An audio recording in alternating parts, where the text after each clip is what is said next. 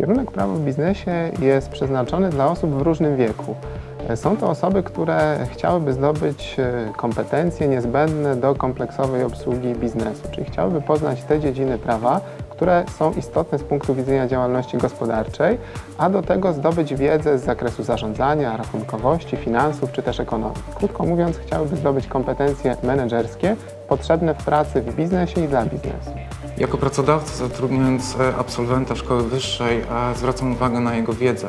Czy wiedza, e, którą nabył podczas studiów jest zbieżna z, ze specyfiką naszej pracy i naszej działalności, a także czy potrafi ją wdrożyć już na samym starcie w praktyce. To jest bardzo ważne. Szczególnie cenię sobie praktyczność zajęć na WSB. Wykładowcy są czynni zawodowo, dzięki czemu znają obecne realia.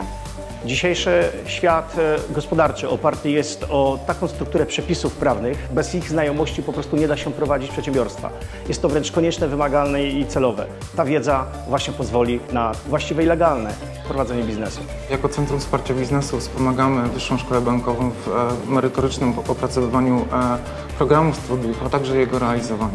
Niewątpliwym atutem kierunku prawo w biznesie są wizyty studyjne, które odbywają się w sądach czy u naszych partnerów biznesowych jak również programy stażowej praktyki, które są oferowane przez Biuro Karier w Wyższej Szkoły Bankowej. Sama miałam okazję brać udział w programie Erasmus+, który pozwolił mi wyjechać na staż i praktyki na Malcie. Jestem przekonany, że ci studenci na kierunku prawo w biznesie, którzy rzetelnie przepracowali okres studiów, są dobrze przygotowani do podjęcia zatrudnienia zarówno w sektorze prywatnym u przedsiębiorców, jak również w sektorze publicznym.